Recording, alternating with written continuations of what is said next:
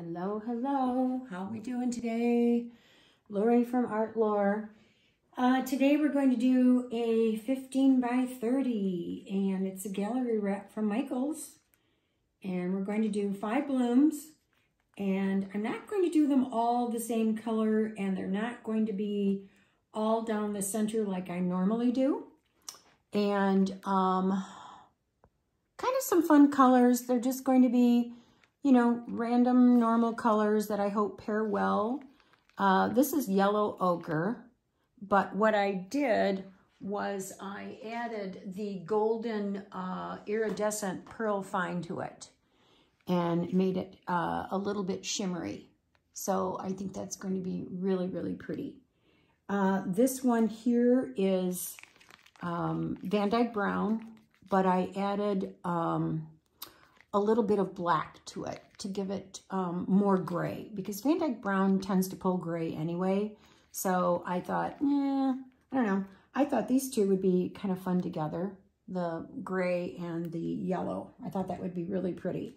I don't even know if I'm putting this color in there or not.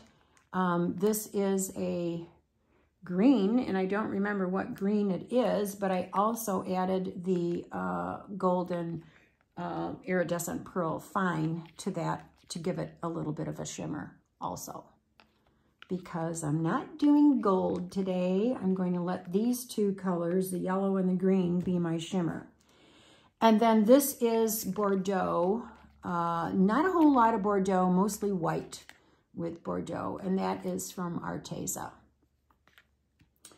Um, the ochre is Liquitex. This one here uh, also is my shimmer, and it's white. And then I just used the Artist Loft white. Nothing, you know, um, not the titanium. I didn't add any of that in there. I added the pearl, um, the iridescent pearl fine in this also to give this a shimmer. So these are my three shimmers. I've got the yellow, the ochre, the green, and then this white. And I thought, I don't know, I'm just going to try it and do some different, um, so that they're all different kind of colors going on together. And we'll see what happens. Get you in focus there, and you are.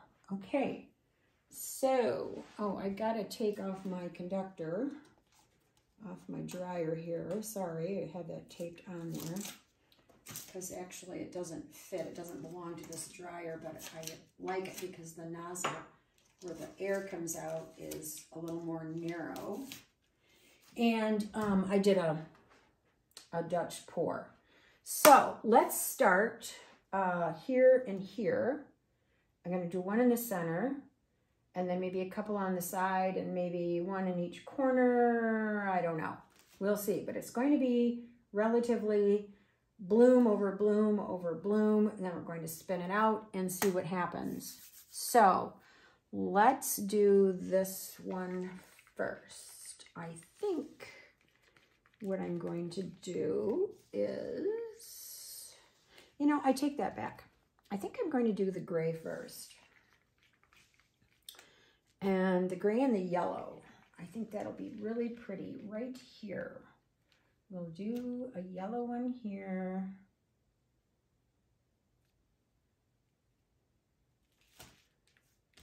And then my gray.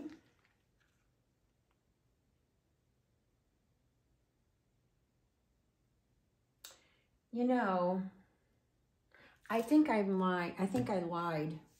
I think I want to add some gold.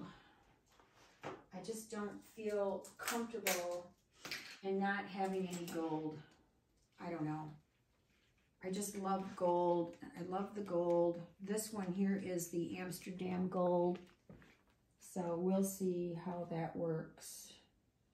Um, yeah, we're just going to do it. Put a little bit of gold right there. And I hope this works because I feel like, I don't know, I just feel like I may have not mixed that correctly. But we'll see. Okay, and then here is my cell activator. And I made it up fresh. Three to one, Aussie Flow. and Oxide Black by Amsterdam. Okay, here we go, noise.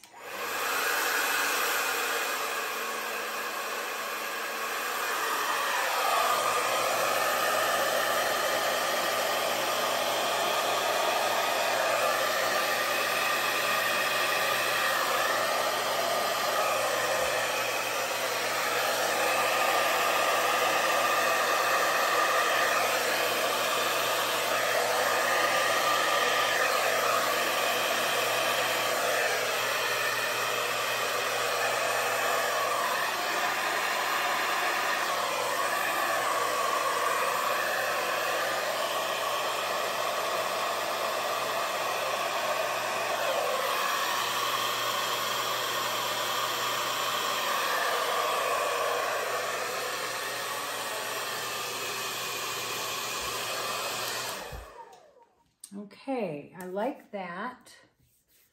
Um, let's do this one again, um, right about here. And I'm going to do, I think, a pink one in the center. So let's do another one here. We'll do the gray. It's a pretty gray. Then my oxide, my shimmery oxide.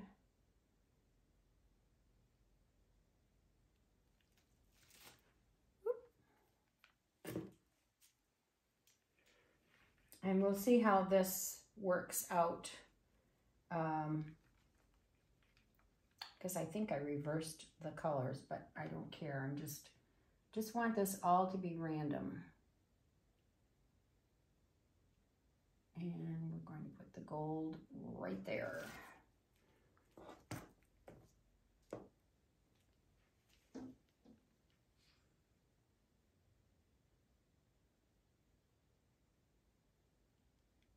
A little bit more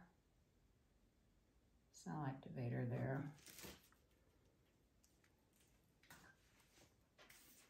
Okay, here we go.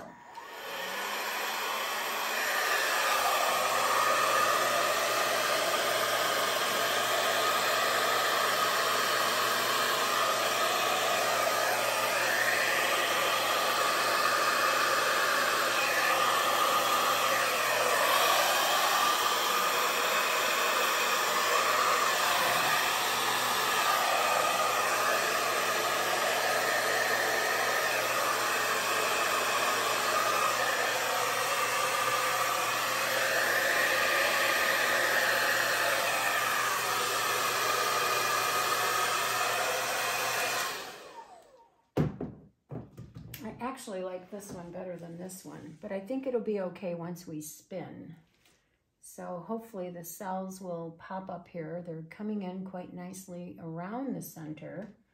Uh, not so much in the center, but let's let's give it some hope, okay? Um, okay, so we're going to do a pink one now in the center. And right here.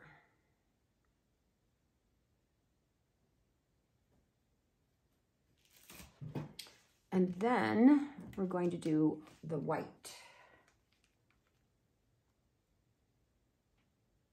And hopefully the gold will incorporate okay with this white and neither one will get lost. So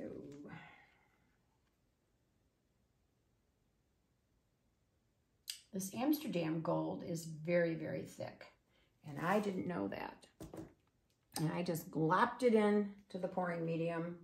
And I feel like I put way too much. And I don't want to keep thinning and thinning and thinning and thinning it out because then it just doesn't end up dry. The dried results don't end up very well. Okay, here we go.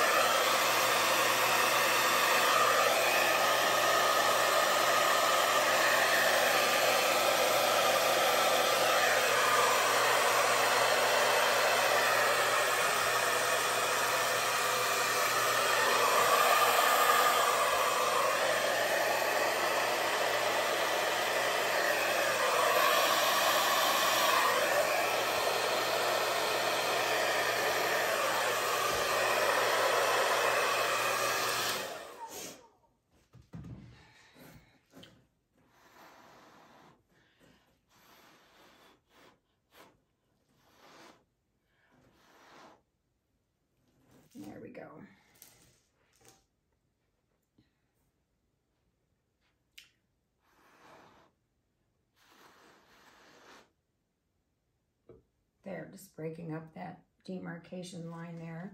Okay, so now let's do some green. You know what? I'm going to give this a little shot in the center.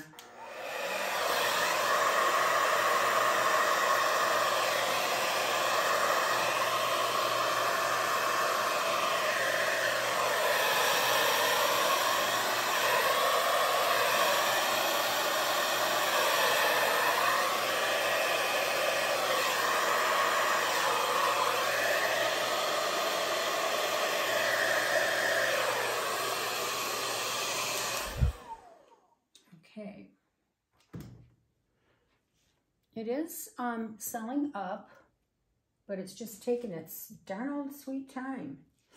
Okay, so now I think I want to do the green on the outside, right here, um, because that might look fun. Maybe one here and one there. Um, so it kind of looks like maybe some leaves or something. So let's just do one right here. And I think I'm going to do the green and the yellow.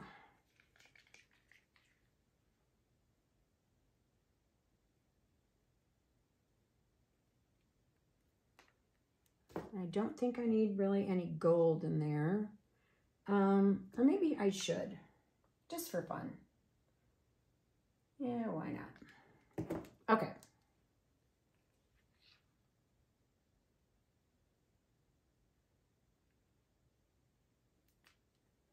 All right, here we go.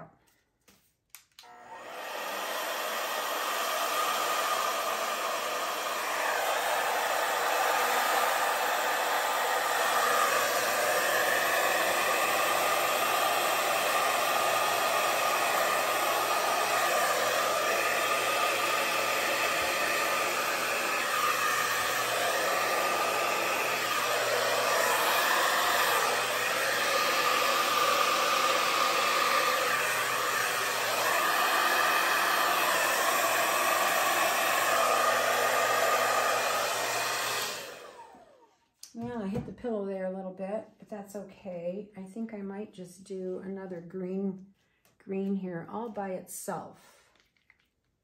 And then just green and cell activator, and that's it. Let's just see what happens.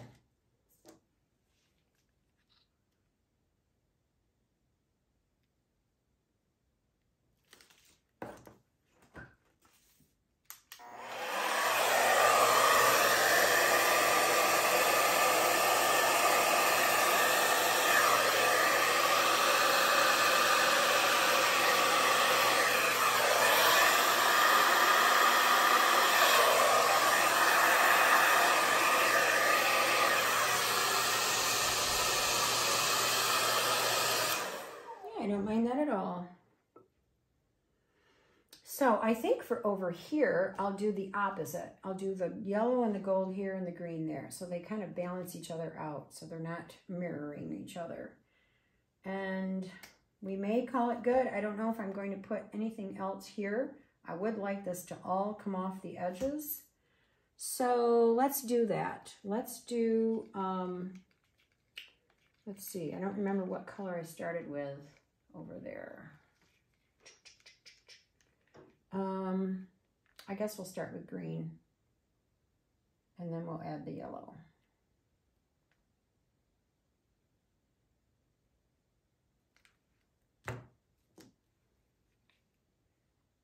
And of course the gold. A little bit of a drizzle. Okay.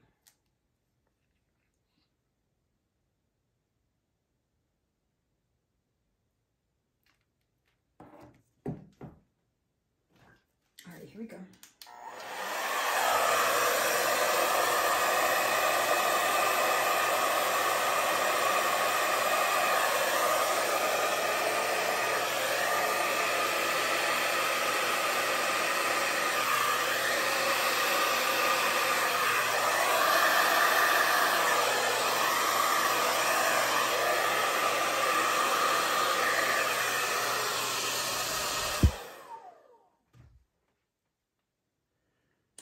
So now right here, just the green one.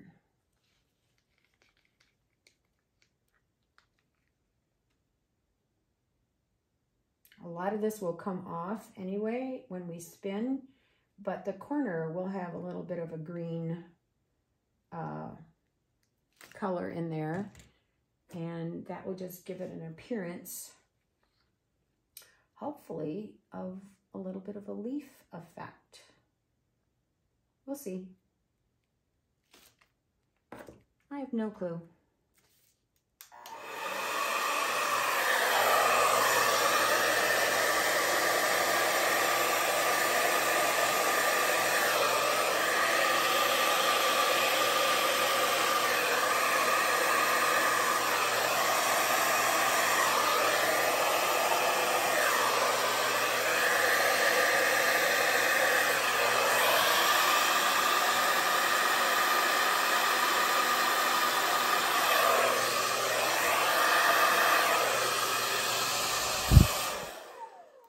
right, so now, I don't know. I think it's, I think there's quite a bit going on here. I don't think I really need any more going on. Um, I think I want to just pull that in a little bit. Pull this in.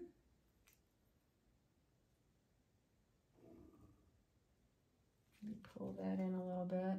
And this as well.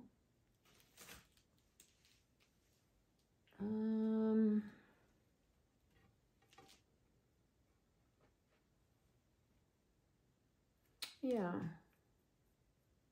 it's looking pretty good.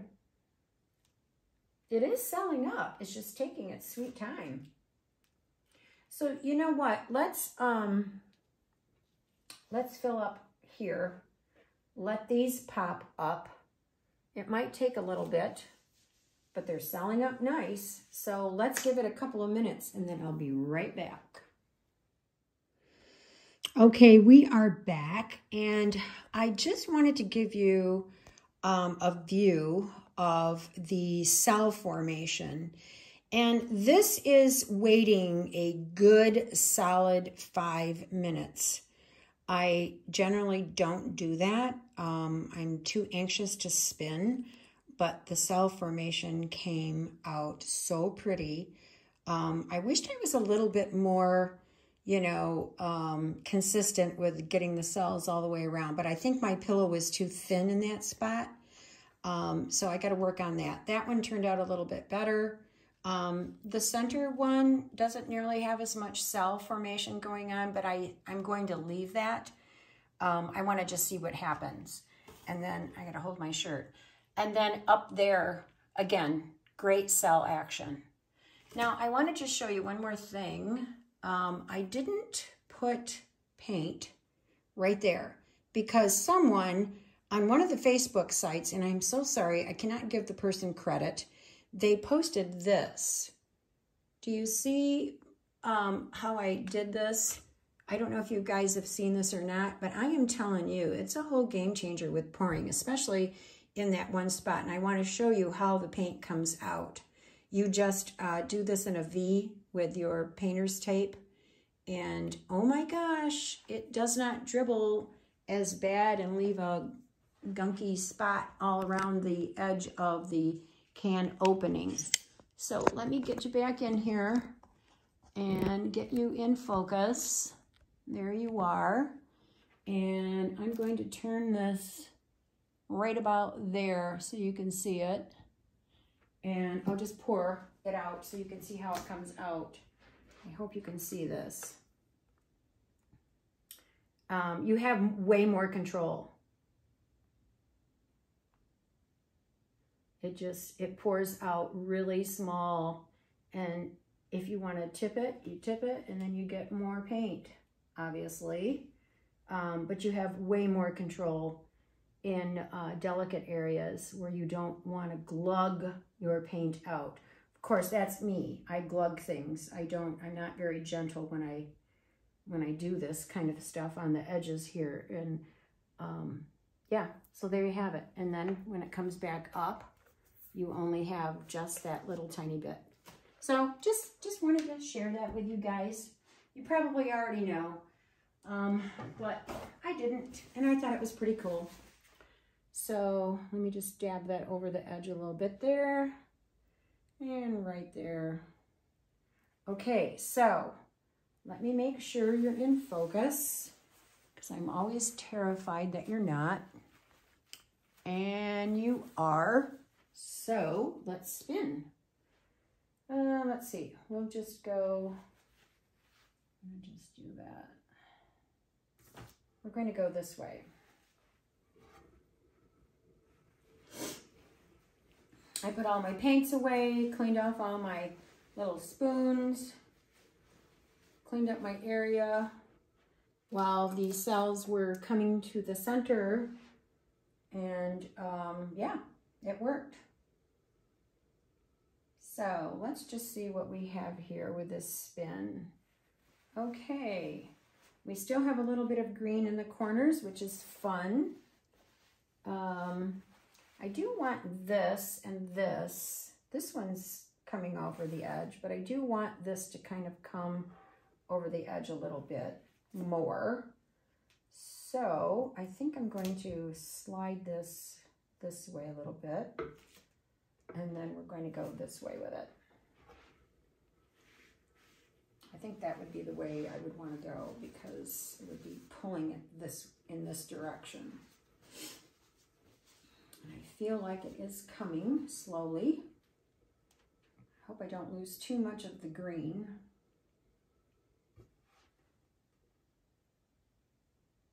Yeah, it is coming slow but sure. Um, I think as long as I'm here, I'm going to add some paint right here so this has something to continue to flow over the edge with. It's not too bad. I, I feel like um, when I was pouring that paint out, because it doesn't glug out, now I've got to um, monitor myself and make sure that I add enough paint. I feel like my pillow excuse me, might have been just, just a scant thin. Um, not thin in consistency, but thin in depth on the canvas. But I'm still getting great results, so that's all I care about. But I could have used, I think I still could have used a little bit more paint. Okay, let's check over here. And that one is covered. Yay. This one is not and we will get it covered. There we go, right there. And this side looks great. Might as well just do that as long as I'm at it. Oh, good thing I looked because we have one that is completely not covered. Let's put that right there.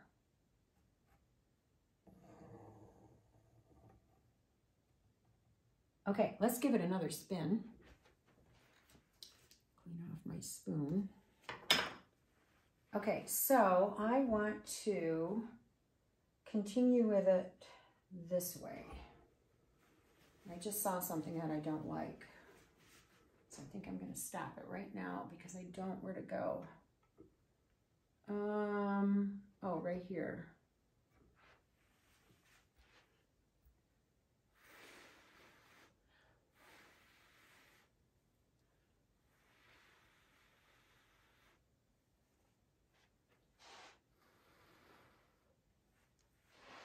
There, that's better. I didn't like that sharp line right there. Okay, so where was I? Uh, this way.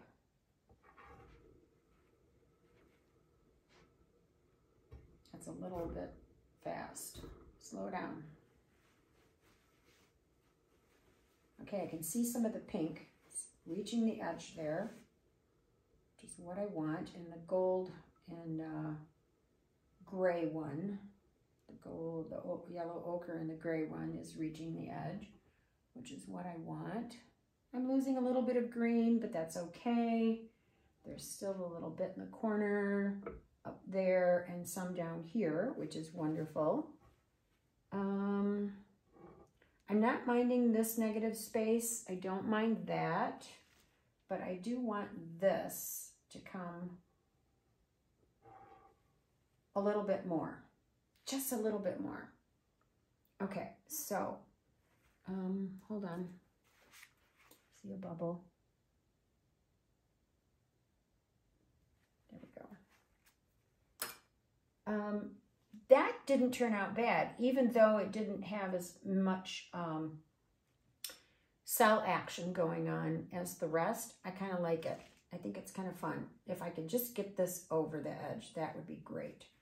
So I think what I'm going to do is just kind of move this a little bit. And then I can pull this forward without getting so much paint everywhere.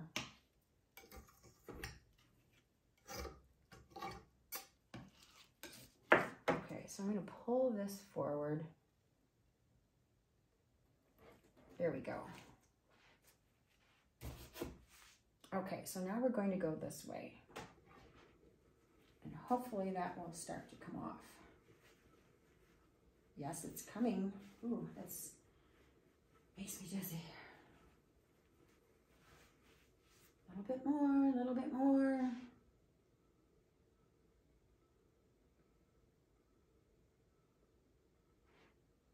Let's see what we have.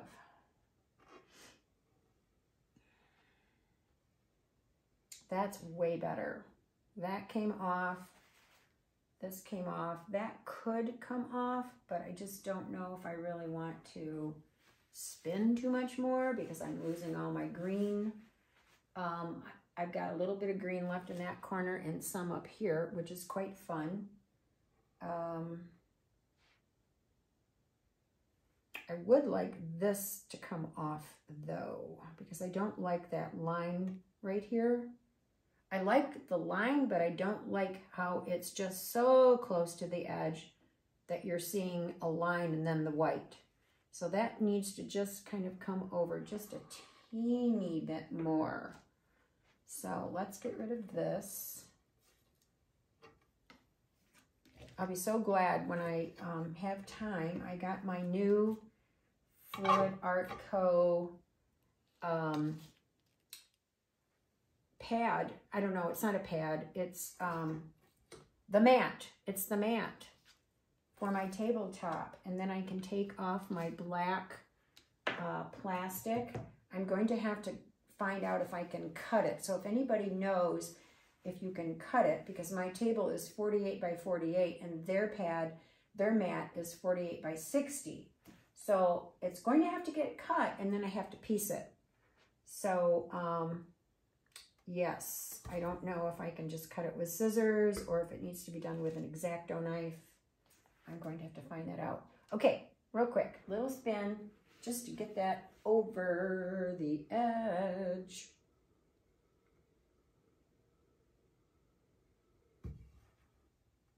And it did it. Yay! Get your hand away from the canvas. Yay. And you can see we still have a lot of paint because you can see where the line is. So that's good that we did that one last time there.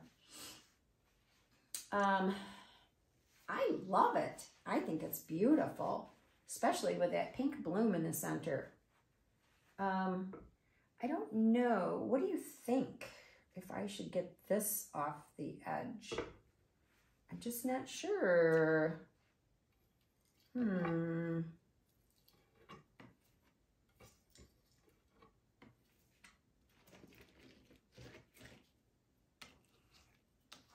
I'm pondering and thinking, pondering and thinking, thinking, thinking, thinking.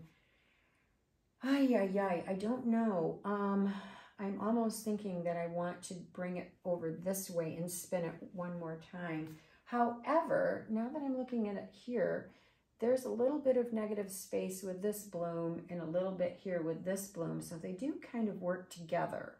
So I think I'm going to leave it. But I am telling you, this bloom with the gray and the yellow ochre with that pearl um, the iridescent pearl fine in there. Holy guacamole. That is so pretty. That combination is gorgeous. And then, of course, the gold, the Amsterdam gold, because I put that in there. I'm really glad I added that gold. Okay, so, oh, let me just take a little dipperoonie here and see. Oh, yeah, I'm happy. Yeah, that's wonderful. Okay, I'm going to bring you down and have you take a peek at the finished results because it is really, really pretty. Oh, there's the snap in my finger, sorry. Okay. Can you see the shimmer? The, the You can see the gold right in there and then all of the yellow ochre um, going in and out, weaving in and out. It paired very well. They married together quite well. They didn't fight against each other at all. There's my green leaves, my abstract leaves. And there's that lovely pink bloom in the center, which I'm madly in love with. And I love the center. I don't care that it didn't cell up that much. And I can't lean too far. I know I'm short. And there's the other gray and yellow ochre with the gold. And there's my little baby green leaf up in the corner. Yay! Awesome! Thank you so much for joining me today. I had a great time. This was fun. It was a fun experiment. Random colors, random layering, five blooms, 15 by 30. It's wonderful. If you like this video, give me a thumbs up. Thank you so much for joining me again and Let's Making a Mess. And give me a like and a subscribe. That would be awesome. And leave me a comment. I'd love to hear what you have to say. Until next time, bye.